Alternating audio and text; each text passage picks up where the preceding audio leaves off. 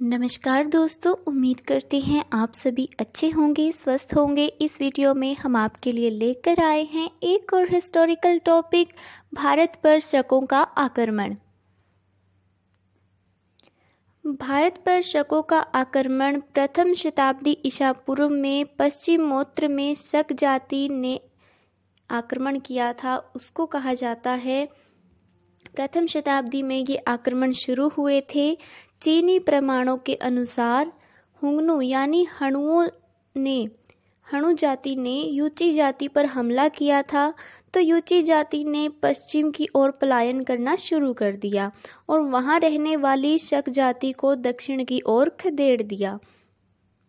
पतंजलि के महाभाष्य के अनुसार इन्हें सुदूर उत्तर पश्चिम सीमा पर यवनों के साथ रहने वाला बताया है, लेकिन इस बात पर मतभेद है। सभी इतिहासकार इस बात पर सहमत नहीं हैं।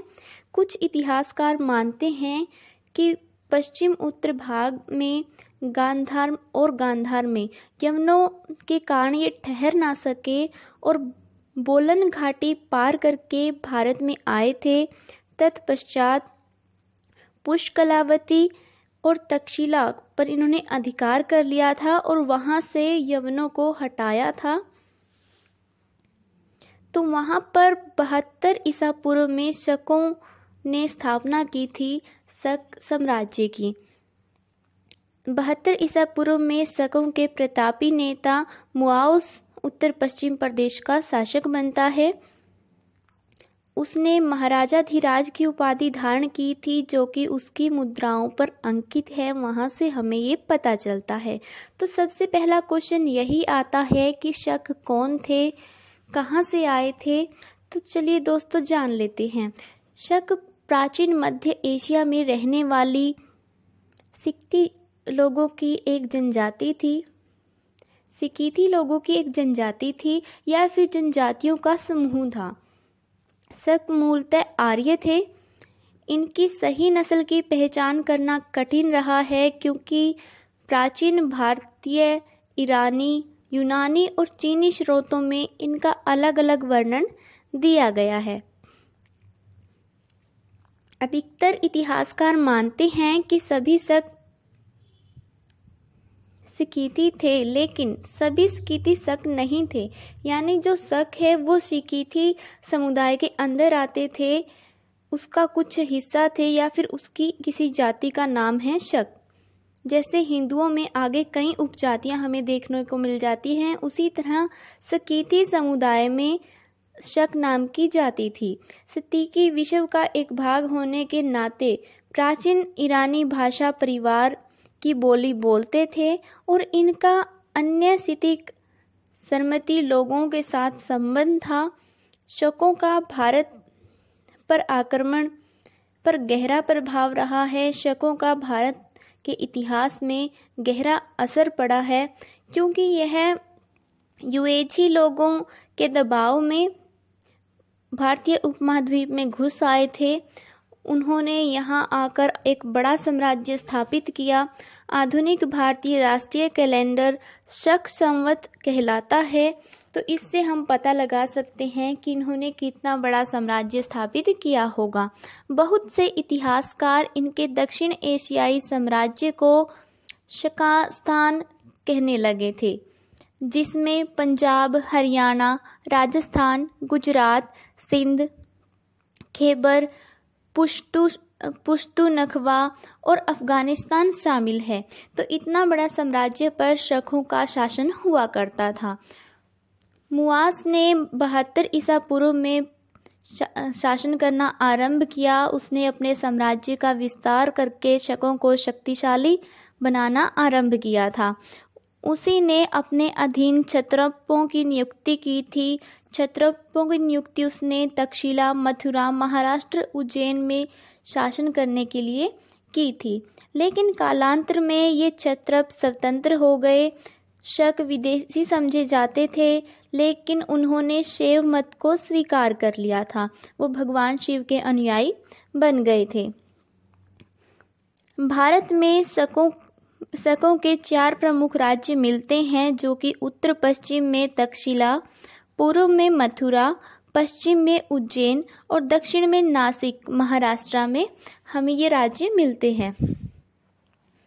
तक्षशिला के शकों की अगर हम बात करें, इसे शकों की मूल शाखा कहा जाता है या फिर माना जाता है।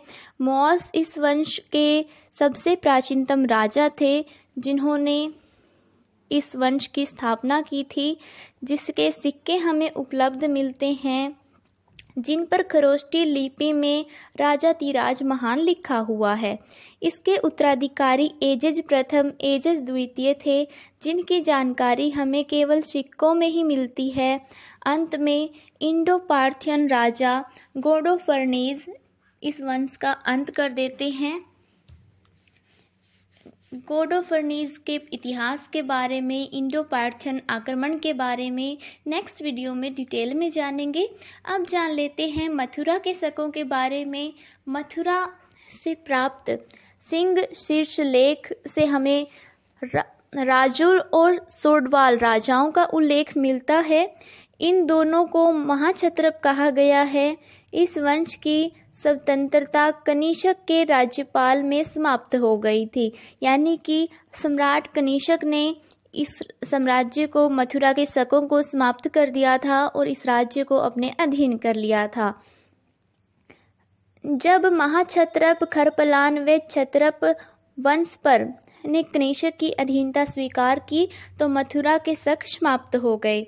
इसके अलावा नासिक के शकों की अगर हम बात करें यहाँ के दो शासक, भूमक तथा नरपान का उल्लेख मिलता है। नहपान का उल्लेख मिलता है। नहपान इस वंश का शक्तिशाली राजा हुआ है, जिसके राज्य में राजस्थान, गुजरात, पश्चिमी मालवा, उत्तरी कोण कणकोण और नासिक व पूना के इलाके शामिल थे। उसके साम्राज्य में नासिक गुहा अभिलेख से हमें इसकी जानकारी प्राप्त होती है। नहपान की राजधानी मीननगर थी। इस वंश का पतन गौतमी पुत्र शातकर्णी द्वारा किया गया था। सतवाहनों के समय में ये नासिक के शक समाप्त हो गए थे। इसके अलावा जो अंतिम शाखा है, वो सबसे अंत में समाप्त हुई थी, जिन्हें उज्जैन के शकों के नाम से जाना जाता है। इस राज्य की स्थापना चेतन चेस्टन ने की थी। उज्जैन के शकों की स्थापना चेस्टन ने की थी। इसकी मुद्राओं पर चैत्य प्रतीक मिलता है। संभवतः उसने बौद्ध धर्म अपनाया था। रुद्रदमन इस वंश का प्रसिद्ध शासक हुआ है, जिसे जूनागढ़ अभिलेख से हमें ये जानकारी मिलती है। इन सब की जानकारी हमें जूनागढ़ अभिलेख से प्राप्त होती है। उसने अनेक सफलताएँ अर्जित की थी। दक्षिणा दक्षिणापथपति शातकर्णी को युद्ध में दो बार हराया था, जो कि सातवाहन वंश के शासक हुए हैं, महान शासक हुए हैं। उनको दो बार हराया था। उसने सिंधु सोवीर का प्रदेश भी जीत लिया था। उसने सुदर्शन झील का जी जागरण करवाया था। गुप्त वंश के समय में इस वंश का अंत हो गया था, यानी कि गुप्त वंश के राजा विक्रमादित्य ने शकों का नाश कर दिया था, उज्जैन के शकों को समाप्त कर दिया था और उसी के बाद विक्रमादित्य की उपाधि भी मिलती है चंद्रगुप्त द्वितीय को। मालवा जन ने विक्रमादित्य के नेतृत्व में मालवा से शकों का राज्य समाप्त कर दिया था। इस विजय के स्मारक रूप में विक्रम संवत का प्रचलन आरंभ हुआ था।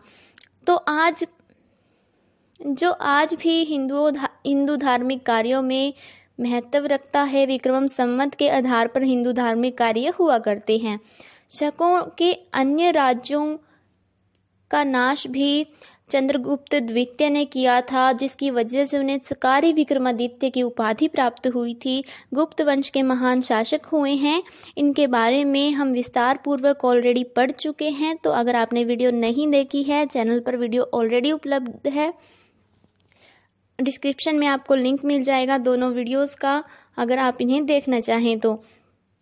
चंद्रगुप्त द्वितीय ने शकों का पूरी तरह से नाश कर दिया था, पूरी तरह से भारतीय उपमहाद्वीप से समाप्त कर दिया था उज्जैन और मालव, मालवा के शकों का। इसके बाद एक छत्र राज्य की स्थापना की थी। शकों को भी अन्य विदेशी जातियों की भांति भारतीय समाज में आत्मसात होना पड़ा। भारतीय समाज में घुल मिलकर लुप्त हो गए। शकों की प्रारंभिक बीजों का स्मारक शक संवत आज भी प्रचलित है, जिससे हमें पता चलता है कि शकों का साम्राज्य काफ़ी विशाल साम्राज्य हुआ करता था। तो दोस्तों, आपको ये जानकारी कैसी लगी, कमेंट करके ज़रूर बताएँ। इस वीडियो में इतना ही, मिलते हैं नेक्स्ट वीडियो में। जय हिंद, जय भारत। नमस्कार दोस्तों